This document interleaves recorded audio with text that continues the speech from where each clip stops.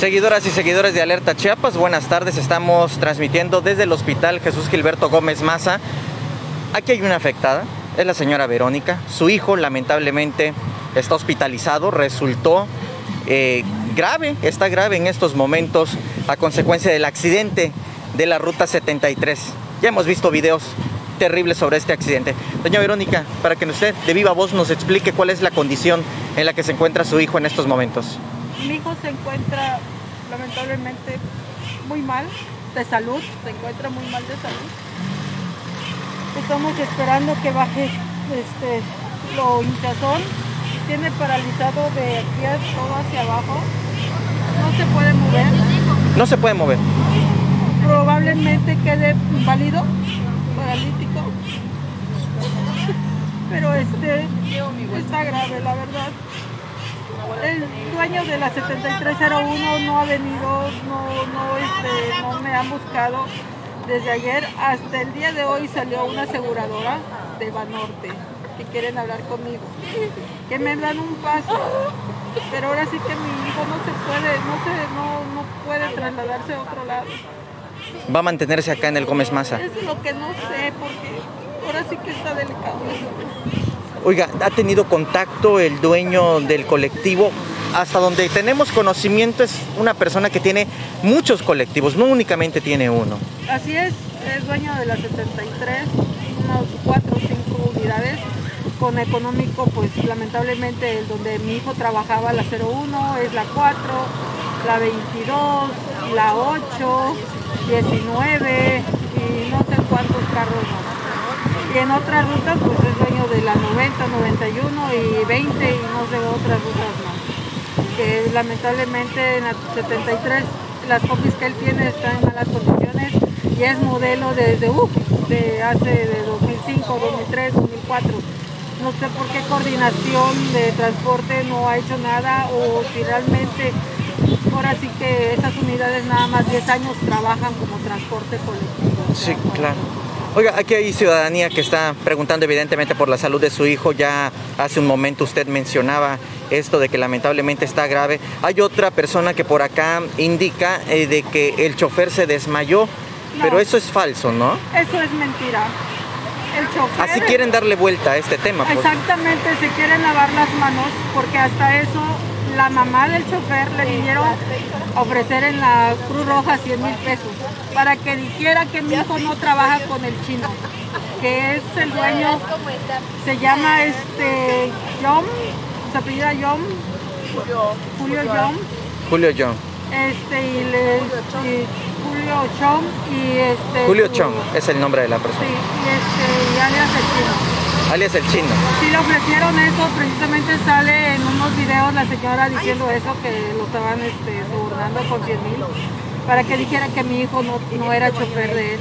Y lamentablemente sí, él tiene, él tiene trabajando conmigo casi tres o cuatro años con esa persona. ¿Y se quiere deslindar ahora? Se quiere deslindar. Ante este accidente. Ante este accidente. Señora, un llamado que usted quiera hacer a las autoridades. ¿Va a buscar eh, evidentemente eh, poder salir de, este, de esta situación? Yo lo que quiero es justicia. Yo lo que quiero es que me tienen a mi hijo hasta donde es. Lo que quiero es que mi hijo salga de esto. Y quiero que carguen todo el peso de la ley, que me apoyen todos ustedes. No sé. Su hijo tiene apenas 23 años. Tiene 23 años. Tiene toda una vida adelante. Sería... 23 años. Lamentablemente ese colectivo quedó sin frenos desde la segunda sección de Chapultepec. El chofer venía salgando, salgando con de no chocar con nadie. Claro, se puede apreciar en el video Lamentablemente el que salió muy afectado es mi hijo. Claro. Ahora sí que Está grave mi hijo. ¿Ha podido hablar con su hijo o lo tienen sedado? ¿Cuál no, sí he hablado con mi hijo, pero lo único que él se preocupa es sobre su patrón, si ya ha hecho algo. Y lamentablemente yo eso no le puedo decir a mi hijo porque lo voy a alterar, porque claro. con qué trabajo respira. Por supuesto. Lo único que le digo a mi hijo que se tranquilice, para que esté tranquilo. Claro. Y no le afecte su respiración. Todo eso lo estamos viendo.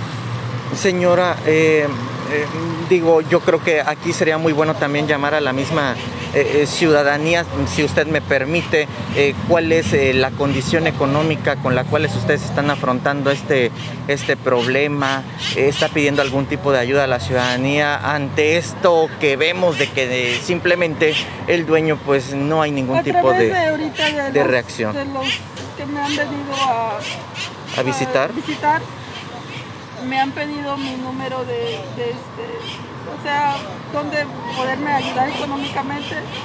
Aquí este, el, este, este Gómez Maza. Ajá, en el hospital Gómez Maza. Este, están haciendo todo lo posible. Se lo están atendiendo a mi hijo, que quede claro. Se lo están, atendiendo, bien. Sí, ahora sí que yo firmé para la intubación. ¿Lo van a intubar? No va a ser. Por el momento ahorita está, quieren que esté estable. Bien. Y este, lo único ahorita es, es necesario la operación, pero la operación aquí no hay, este, no tienen los instrumentos, el material que salen, yo creo, muy caro. ¿Qué le han dicho específicamente en cuanto a la salud de su hijo? ¿Qué, qué es lo que tiene ahorita?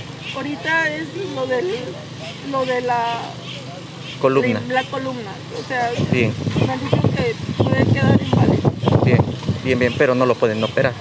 Pero no lo puedo ¿Usted esperaría que le den ese pase, en todo caso, al Sanatorio Rojas, no? De lo... Este, pues ahorita me acaban de hablar la aseguradora de Banorte, pero realmente no se puede mover mi hijo. Bien. Sí, evidentemente. Si realmente ese, ese seguro o ese particular vienen a operar aquí mi hijo, mucho mejor.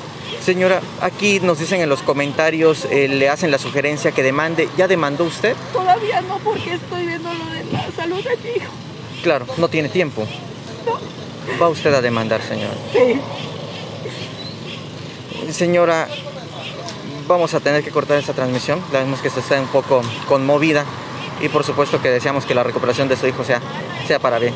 Esta es una entrevista con la señora Verónica, tiene a su hijo hospitalizado aquí en el hospital Jesús Gilberto Gómez Maza y aquí es donde también trajeron al resto de las personas que fueron eh, que sufrieron este accidente de la ruta 73. Nosotros los vamos a dejar, vamos a cortar esta transmisión y les pedimos que sigan a través de la plataforma de Alerta Chiapas las transmisiones y las noticias que constantemente estamos subiendo para ustedes. Que tengan un excelente tarde.